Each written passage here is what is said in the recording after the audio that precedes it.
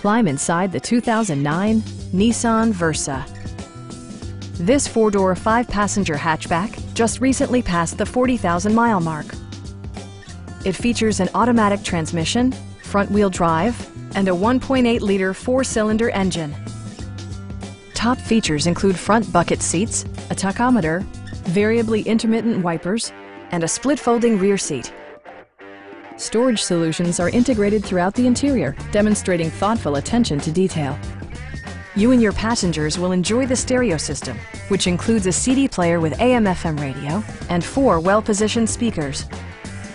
With side curtain airbags supplementing the rest of the safety network, you can be assured that you and your passengers will experience top-tier protection.